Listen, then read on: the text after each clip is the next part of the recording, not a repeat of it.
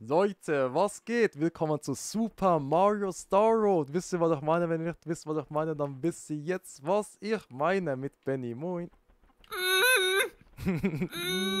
Moin. Ja, ähm. was? Boah, ich war geknebelt, Alter. Warum? Von den, von den Zuschauern, die dich gewarnt haben, dass wenn du noch ein einziges Mal mit mir aufnimmst, dass sie mir was antun. Scheiße, Mann. Warum seid ihr so, Zuschauer? Sag mal, selbst Mario hat schon Angst. Ne, er spielt halt einen Sieg. Ja, weil er Angst hat. Nein, weil er äh, das macht, damit er das in Titel schreiben kann. Let's go! Es ist gar nicht Mario, oh mein Gott, ein Scam! Ich wurde ja. Ich wurde äh, gerade bei einer Short mal gefragt, warum spielst du Luigi? Das ist Mario, Leute, im grünen Outfit. Und ich mag aber. Fand das so. Übrigens, das ist kein Soundtrack da. Ja, der Soundtrack kommt wahrscheinlich noch. Ähm, Leute denken, du jokes, wenn du sagst, ich spiele als grüner Mario, aber es ist wirklich grüner Mario. ja, Mann. Es ist grüner Mario. Ihr checkt. Ähm, ich fand das damals eh so cool, so mit ähm, Alice Real. Das war so voll dieses mysteriöse Ding und da gab es so voll viele ähm, Videos dazu und keine Ahnung. Das ist einfach krass so. Ja, ich spiele gerade einfach Mario im grünen Outfit. So das, ja, Luigi hat gedacht, so man checkt, das sind die Luigi-Farben und irgendwie, keine Ahnung, ich glaube, das hat mich irgendwie ein bisschen motiviert, auch den Mario im grünen Outfit zu spielen, weil das einfach damals so eine heftige Forschung gewesen wäre, hätte man einfach Luigi spielen können in Mario 64. Und jetzt kann ich es halt indirekt machen so. Zwar jetzt spiele ich, das, spiele ich Mario trotzdem immer noch, aber halt in, in den Farben von Luigi. Und das irgendwie, ich dachte gerade Du auch, dass kannst so, auch Luigi spielen. das stimmt, ja, aber möchte ich nicht. Aktuell.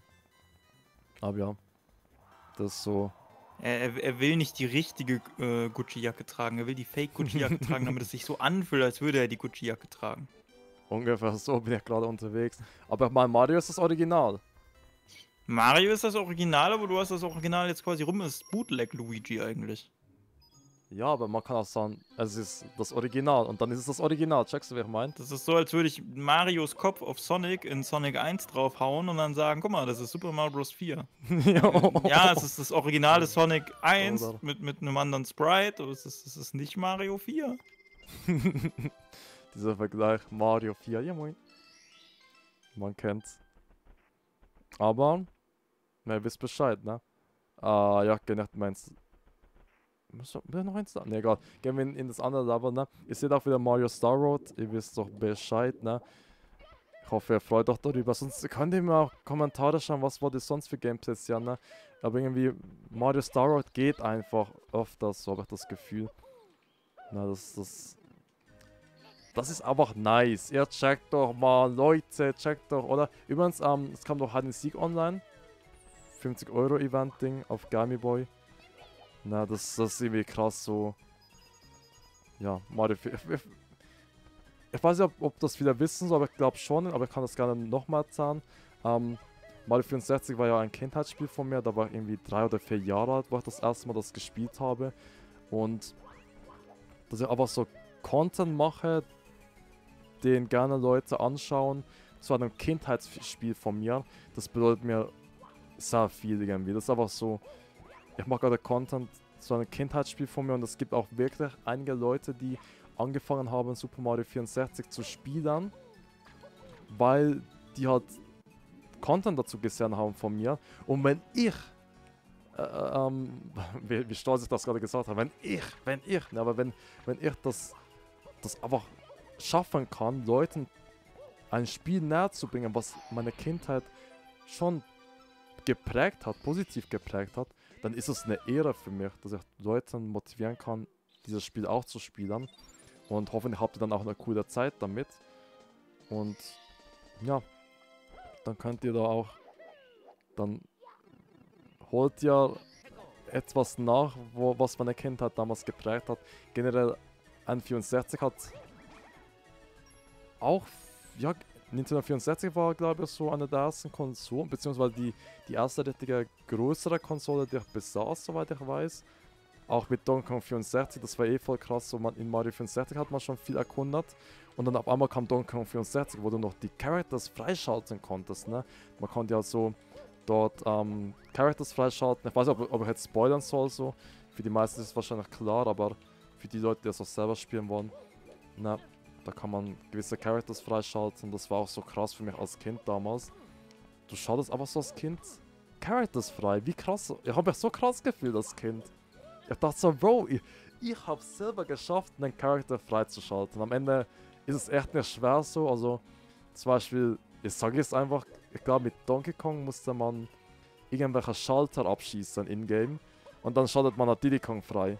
So, Bro, das ist echt nicht schwer, aber ähm, ich glaube, das war so. Aber trotzdem war es für mich so voll heftig. So, yo, ich habe gerade einen Charakter freigeschaltet. Ich kann dann jetzt gerade spielen. Mit dem Charakter kann ich auch weiterhin diese große, großen Welten erkunden. Das war so krass für mich.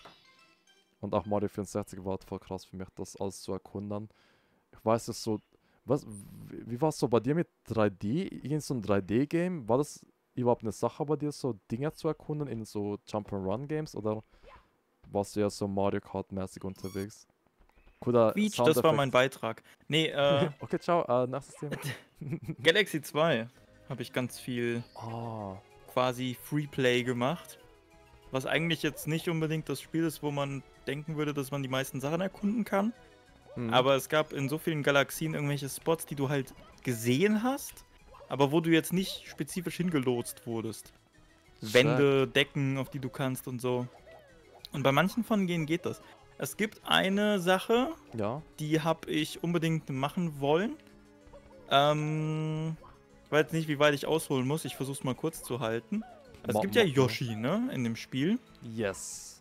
Und es gibt ein, zwei Levels, wo du ihn, ähm, wo es Yoshi und eine Rutsche im Level gibt. Mhm. Das ist so eine Waldgalaxie. Ich weiß leider nicht, in welcher Welt die ist und wie sie genau heißt. Da muss man diese Aber Dinger essen. Was muss man da essen? Die, die Beeren, ne? Diese. Ich glaube, das war wo, so man, wo Yoshi zu so einem so. Ballon wird. Ah, das da? Ich, ich, oh. ich weiß es nicht. Dachte, aber es gibt in dem ja. Level auf jeden Fall Yoshi und die Rutsche. Es ist aber nicht gedacht, dass du mit Yoshi zu der Rutsche kommst. Also da führt kein, kein Weg hin in der Mission, glaube ich. Du kannst aber zu dem Planeten kommen, indem du diesen Infinite Flutter Glitch machst. Also es gibt mit Yoshi einen Glitch, oh. wo wenn du im richtigen Moment dich duckst im Flattersprung, resettet sich dein Flattern. Und du kannst damit halt unendlich hochspringen und unendlich weit springen. Jo. Und wenn du das machst, so mehrere Dutzend Male in die Richtung von der von dem Planeten, wo die Rutsche ist, mit Yoshi, mhm. und dann mit Yoshi auf die Rutschfläche springst, freest das Spiel weil es nicht weiß, was es tun soll, wenn Yoshi eine Rutschanimation laden soll, weil es gibt keine. Oh mein Gott, ist Eigentlich geht ja Mario dann auf seinen Pöppes und fängt an zu rutschen, aber Yoshi hat so eine Animation nicht und deswegen stürzt das Spiel ab. Das ist aber krass, dass man nicht irgendwie anstatt, also dass man irgendwie drauf landet und irgendwie, oder einfach durchfährt oder irgendwie sonst sowas. Das Spiel stürzt einfach ab, das ist irgendwie krass. Dass das die Reaktion ja, und dann macht es diesen, diesen ikonischen Bzzz, ah. Wii Freeze Sound und äh, das war's dann. Es gibt auch so eine ähnliche Situation in Mario Kart wie, ich glaube, wenn ja. ein rotierender Panzer in einen auf der Strecke liegenden Stern reinrattert, dann freest auch das Spiel. Das kann man aber Vanilla hinkriegen. Das ist einfach nur super unwahrscheinlich, dass das passiert. Ein Stern mit Cooper-Panzer, wie nochmal? Also der Stern muss aber am Boden liegen? Genau, weil, weil ein Spieler den nach einem Blitz oder so hat fallen lassen und dann, äh, du kannst ja, wenn du drei Panzer kriegst, mhm. rotieren die um dich rum und du hältst sie nicht hinter dir. Und wenn einer dieser rotierenden Panzer den Stern auf der Strecke berührt, dann freest das Spiel, glaube ich. Also wenn du, das trotzdem wahrscheinlich. Also ich meine, normalerweise fährt man in den Stern hinein, aber trotzdem rotieren die Naja, du musst erstmal, erstmal muss da ein Stern liegen, dann musst du nicht reinfahren, sondern ein Panzer streift ihn und dann... Aber imagine, du wirst in ihm reinfahren und vorne berührt dann dein Panzer die meisten Panzer ja gut, und, und du musst erstmal überhaupt rotierende Panzer um dich drum haben. Ja, die meisten sein. werfen die ja irgendwie weg. Wie weird, aber. Ja, ich weiß auch nicht. Ich weiß auch nicht, warum das dann free. Ich weiß auch nicht, ob es mit der genau der Kombination ist, aber irgendeine so Kombination gibt's. Na krass. An Items, die die dann wahrscheinlich einfach nicht getestet oder übersehen haben bei der Animationserstellung. Weil es ja eigentlich nicht gedacht ist. Ich, ich glaube, der Grund ist, ja. ein, um, ein um dich rum schwingender Panzer ist ja Schutz. Und Items, die auf der Strecke liegen, sind in den allermeisten Fällen Hindernissen. Panzer, Bananen, all sowas. Mhm. Also zerbricht der Panzer, der um dich rumschwirrt, das liegende Item. Und macht es ungeachtet dessen, was da liegt. Ähm, und aber bei den, bei sowas wie einem, einem Stern, der kann ja nicht kaputt gehen ja. eigentlich. Der verpufft einfach, wenn der zu lang da liegt. Aber du kannst ihn ja nicht zerstören, indem du einen Panzer drauf wirfst. Und ich glaube, deswegen crasht er das Spiel. Also Nach der Logik müsste es aber auch mit einem liegenden Pilz sein. Und das ist, glaube ich, nicht der Fall. Aber ich weiß auch nicht. Weird, irgendwie fährt ein Fehler. Also, was, was MKW-Experten, bitte helft uns. bitte, bitte. Ah, du hast doch 900 Parts gemacht. Ey, Nein! Nein! 1636 gewesen. Ja, hab aufgerundet, sorry. Ja, grob, ne? weißt du, dass du so empfindlich bist, wenn man aufrundet, sorry. Naja. Kein Problem. Ist krass. Ich habe Verständnis. Indem du mich korrigiert hast? Ja. Okay. Danke für dein Verständnis, Mann. Ey, das ist doch krass. Aber, aber was auch noch viele hatten, auf der N64, soweit ich weiß, war dieses eine, ich glaube, das war so ein Formel 1 Game. Irgendwie, irgendwie hatten das, glaube ich, sehr viele Leute. Ich weiß nicht mehr, wie das hieß, aber das war auch so, ich glaube, das war so ein Formel 1 Game. Und ich habe auch Smash Bros. gespielt auf der N64. Das war einfach so, keine Ahnung, da war, als Kind war so, ich habe als Kind so viele Videospiele gespielt und war da so schnell zu begeistern, auch Mario Party und das war krass, ich halt mit Nintendo aufgewachsen bin und ich mache bis heute, heute Nintendo-Content und ich bin, ja, ich bin, ich habe auch PlayStation 2 Games gespielt, wie Ratchet Clank zum Beispiel, auch andere PS2 Games, weiß aber den Namen gar nicht mehr. Irgendwie so ein Roboter-Shooter-Game, glaube es gab auch noch, wo man so voll die krassen Monster sehen konnte irgendwie. Ach, ich würde sogar nicht gerade wissen, wie dieses Spiel hieß. Ähm, aber mit viel Recherche werde ich es sicher finden, aber jetzt aktuell weiß ich den Namen wieder nicht, auch wenn ich da manchmal auf einmal, wenn ich so drüber nachdenke über das Spiel, wieder so auf YouTube nach Gameplays suche. Aber dann muss ich öfters länger recherchieren, bis ich das Spiel wieder finde. Und ähm, den Namen vergesse ich dann auch immer wieder schnell. Aber ja, das war schon, schon, das ist echt cool, aber so, wenn ich drüber nachdenke, wie viele Nintendo Games ich gespielt habe. Ich meine, für, fürs N64 gibt es nur irgendwie 300 Stück in Europa. Die könnte man sogar noch brute forcen. Wenn du die nach Rennspiel sortierst, da bleiben nicht mehr viele übrig. Safe, aber kann gerade jetzt, also ich möchte jetzt nicht googeln, ich habe Angst, dass irgendwas dann passiert mit der Aufnahme. Ach so, ich dachte, du meinst allgemein. Aha, nee, also es ging um das PS, PS2-Spiel mit dem Roboter-Ding, Roboter-Shooter-mäßiges Ding. Ähm, aber ich weiß echt den Namen nicht mehr. Da müsste ich dann länger recherchieren. Oder irgendwie, keine Ahnung, ich weiß einfach den Namen gerade nicht, aber mit bisschen Recherche will ich es wieder herausfinden. Aber, ja, das war, das ist echt krass so. Ich habe auch ein bisschen die 3D-Zeit aus den Augen verloren, ne, wegen Hub Hotel auch sehr. Also dieses, eine Hub Hotel ist halt so ein Chatting-Ding, habe da viele Räume gebaut und so kannst du Räume bauen, dort mit Leuten chatten, Events gestalten, dies, das. Und ähm, da habe ich sehr viel Zeit verloren, nicht Zeit verloren, das war einfach so voll der Grind, dann habe ich halt andere Dinge aus den Augen verloren. Ähm, auch Nintendo. Und dann irgendwann kam die 3DS-Zeit und dann kam noch YouTube und irgendwie dachte ich so, oh, ja, Nintendo war doch eine Sache und da habe ich auch teilweise mit äh, Nintendo Let's Plays bis han, ähm, ja, wieder bis bin wieder bis in Nintendo reingekommen, I guess. Zumindest habe ich da wieder ein bisschen, aber ja, Nintendo-Videos geschaut, ich habe ein bisschen mit Nintendo beschäftigt damit, wenn man checkt. Und wir haben Nintendo ein bisschen aus den Augen verloren durch Hub Hotel und dann, ja, gab es ein 3DS, ne? Und da bin ich wieder ein bisschen reingekommen dann. Ähm, gerade glaube ich durch Mario Kart 7 oder Mario 3D Land, irgendwie sowas. Und äh, habe auch Pokémon Y, glaube ich, gespielt. Irgendwann noch. Das war ein bisschen später, da ich glaube, da das schon ein bisschen länger. Aber ja, ist krass. Ich habe echt viele Franchises gespielt, so, also Pokémon, Mario. Ähm, aber, ähm, was gibt's? Der Donkey Kong auch natürlich so. Aber mit The Legend of Zelda bin ich. Es ist irgendwie ein bisschen peinlich, aber mit The Legend of Zelda bin ich oft nicht so warm geworden, weil oft so dumm für das Spiel war. Oft war mir es einfach zu schwer. Auch wenn ich Spaß Fühl, hatte. Fühle ich aber ein bisschen, fühle ich ein bisschen. Das ist aber voll schade, so weil ich mir denke, Bro, einige spielen Dash of Zelda Ocarina of Time, wo sie vier Jahre alt waren und haben es so durchgespielt oder so mit, mit, vielleicht auch mit, mit den Eltern oder so. Da gibt es auch voll die süßen Stories, öfters, die man so hört. Und, ähm, Bro, dann komme ich so und check das Spiel einfach nicht. Ich habe Ocarina of Time abgebrochen, weil ich das Spiel nicht gecheckt habe. Das ist natürlich nicht eine Sache, ich kann auch das live streamen einfach und dann ist vielleicht ein Chatter, der mir hilft, aber ja, keine Ahnung, was ist, wenn niemand da ist, dann muss ich die ganze Zeit dann bin ich ein bisschen aufgeschmissen, vielleicht, keine Ahnung. Oder du guckst in einen Guide rein. Ja, aber das. Das ist. Irgendwie nervt das bisschen, I guess.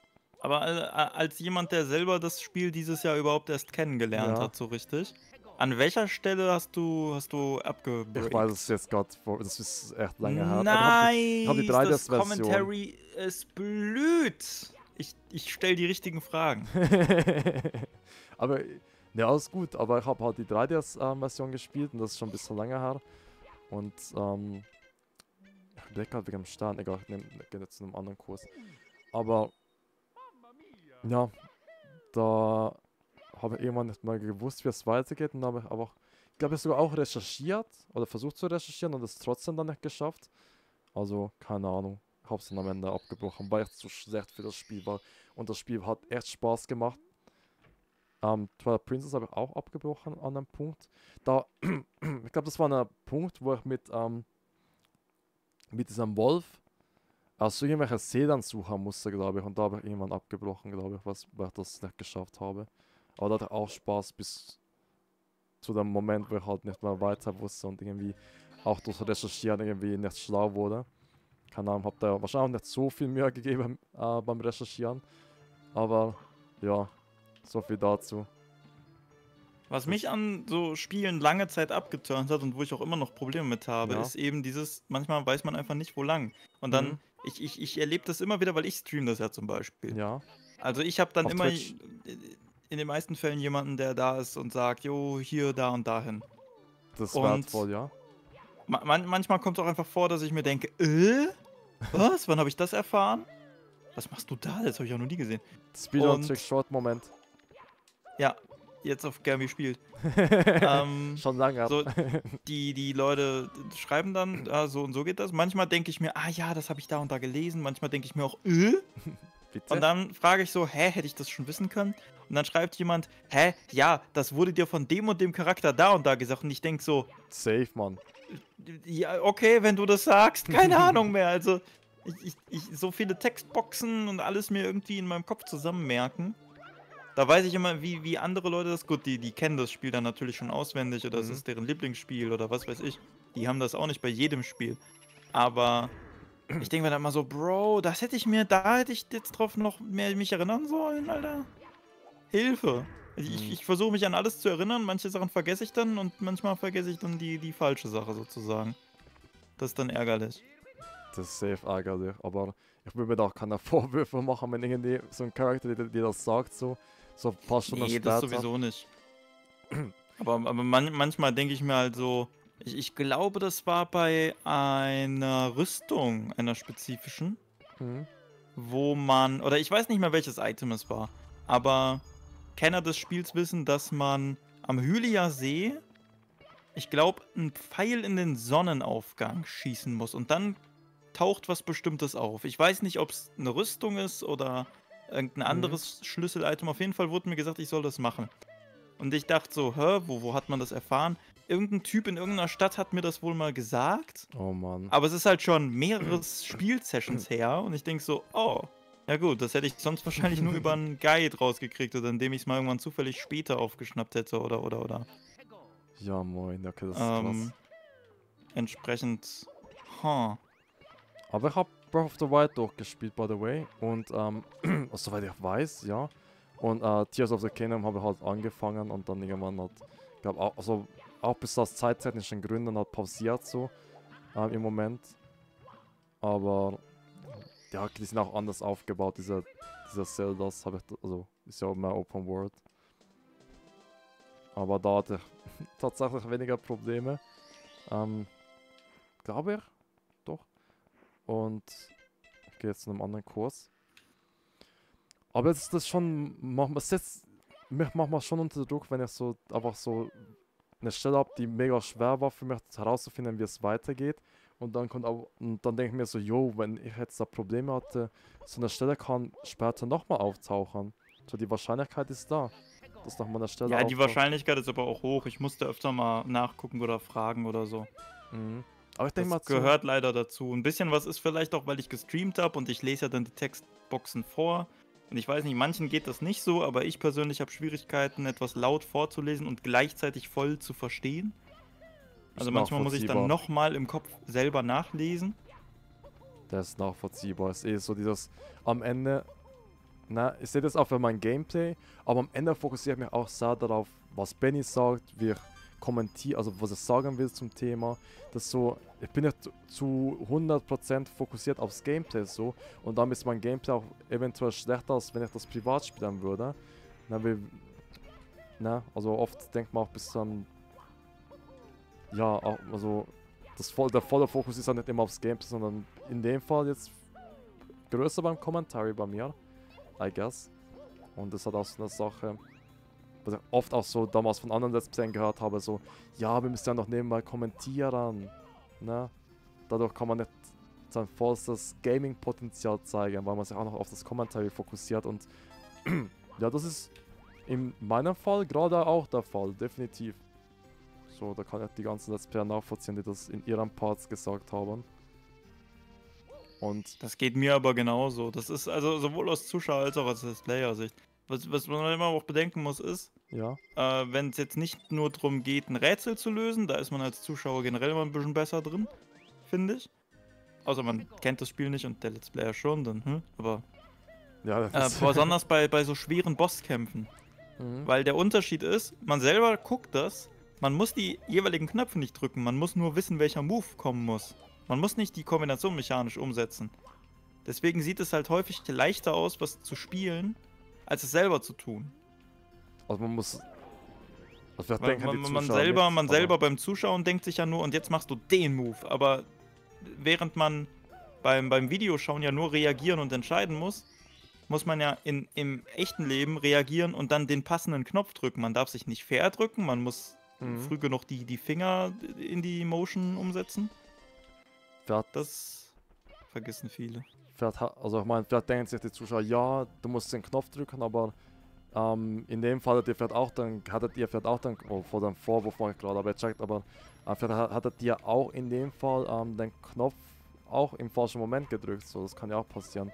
Ja, oder den falschen Knopf gedrückt oder kurz überlegen müssen, ob das nochmal der richtige Knopf ist. Das sind ja auch nochmal ein paar Millisekunden, die draufkommen. Mhm.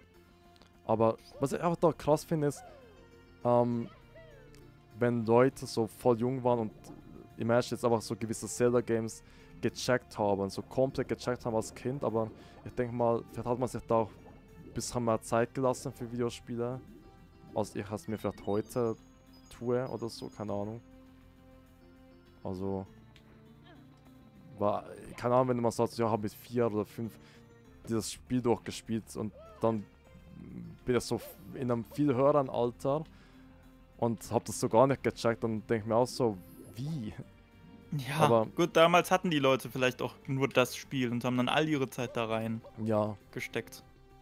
Ja, die haben auch mehr, äh, ja, sich mehr Zeit fürs Spiel genommen. Aber ja. wer weiß, ne? Aber das hat auch das Ding, man kann ja auch nicht von jedem erwarten, dass, dass jeder gleich gut in Spielern ist, ne? So, das ist einfach so. Vielleicht liegt ein Spiel einem mehr als einem anderen. Kann auch nicht erwarten, dass jeder ähm, Mario 64 Spieler ähm, instant oder einfach alles vom Spiel weiß oder sehr viel vom Spiel weiß. Nur weil das vielleicht eventuell bei mir ist, dass ich da, ne? Nur weil ich in der Spiel vielleicht bisschen mehr Wissen habe heißt es nicht, dass man das von jedem erwarten muss. Das ist bei. Oder sollte. Ja. Ah ja, trotzdem gibt es eben noch einige Dinge, die ich über Mario 64 lernen kannte. Oder lernen muss, das definitiv. Ne, also. Da gibt es eben noch Momente, wo ich mir denke, krass, du spielst schon so lange dieses Spiel und der Movement ist manchmal immer noch echt manchmal schlecht, aber ja, na, passiert, passiert. Auf jeden Fall. Leute, ne, das war's mit dem Part an dieser Stelle. Wenn ihr wollt, könnt ihr einen Kommentar schreiben. Wenn nicht, ist auch okay. Und Schaut gerne bei Ballender Nicker vorbei. Ein Abo dort ist kostenlos. Ihr checkt, ihr checkt, ihr checkt. Und ja, das war's wieder ein Part. Danke, dass du dabei warst, Benny. Kein Problem. Ja, moin. Also, ciao, Leute. Ciao, ciao. Tschüss.